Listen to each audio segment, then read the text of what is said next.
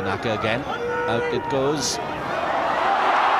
And that line is breached again. This time it's Craig Wing, the try scorer. Into the 22. Deep into the 22. Outside half. Tatekawa takes it further. And then Kikutani. Perhaps the game's best player so far. Japan's number eight.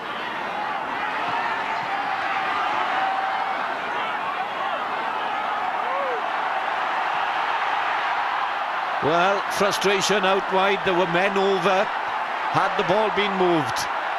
In it goes, the replacement, Shinya Makabe. Out to the right, and they must score. This is Japan's second try. And it's the man who scored in the similar corner last week. Michael Broadhurst from New Zealand. It came from a line-out move last week. This time from open play and Eddie Jones is absolutely delighted. Japan lead Wales by 10 points. Well, it should be rewarding for Eddie Jones. This is a magnificent try.